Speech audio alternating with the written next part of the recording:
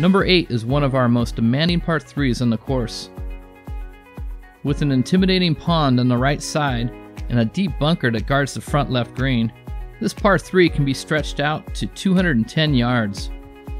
Several different tee boxes give a variety of distances from which to choose.